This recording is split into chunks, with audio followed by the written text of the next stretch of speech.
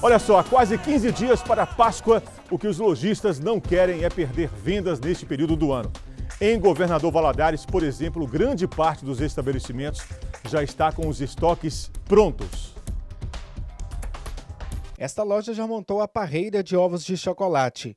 O estoque de caixas de bombons e de produtos relacionados ao período de Páscoa está reforçado e a procura pelas guloseimas já teve início. Antes da Páscoa já está um movimento bem intenso, né? Então na semana as coisas aumentam mais ainda, a tendência é aumentar.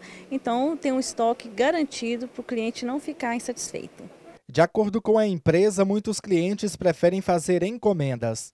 Bastante cestas já estão preparadas, esperando os clientes, né? E é só ligar e pedir que a gente está assim reservando, com certeza. Este outro estabelecimento também trabalha com itens para a Páscoa. Barras de chocolates, embalagens e produtos são procurados por quem prefere fazer os ovos em casa. Se comparada ao ano passado, a demanda aumentou este ano. Esse ano a gente teve um crescimento né, comparado ao ano passado. O pessoal está valorizando muito mais os ovos feitos em casa, então tanto para comprar quanto para fazer.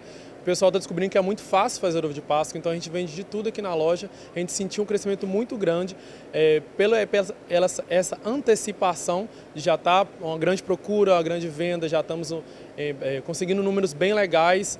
Então, eu acredito que todo mundo está conseguindo enxergar que é fácil fazer com a, com a criançada em casa, é, mais, é melhor comprar dando a preferência para uma confeiteira de casa, entendeu? Então aqui a gente tem desde a embalagem, ao chocolate, ao ingrediente para fazer o recheio, o embrulho. Segundo a CNC, a Confederação Nacional do Comércio de Bens, Serviços e Turismo, o comércio varejista de Minas Gerais deve faturar 273 milhões de reais com as vendas de Páscoa deste ano.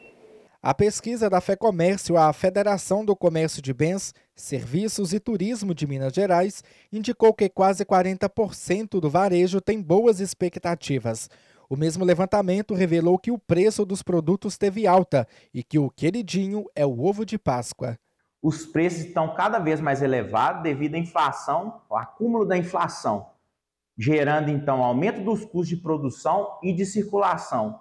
Outro efeito também é a elevação dos preços devido ao mate e as embalagens diferenciadas para que os comerciantes fiquem mais competitivos no mercado. Nesta Páscoa, o custo médio gira entre 70 e 200 reais e o principal produto ainda é o ovo de Páscoa, no qual será presenteado os familiares e amigos mais próximos.